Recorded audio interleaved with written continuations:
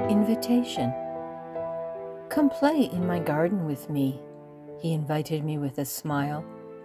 You've worked so hard and carried such heavy burdens. You must be so very tired.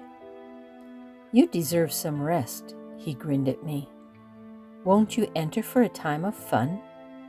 Come frolic amid my beautiful flowers, where you can laugh and run and dance. I so want to spend time with you.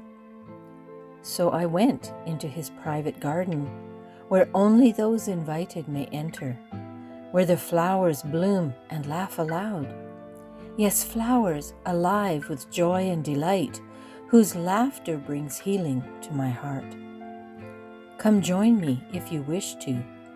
I know he would be delighted as well to have you come and rest with us, for I know he loves you intensely too.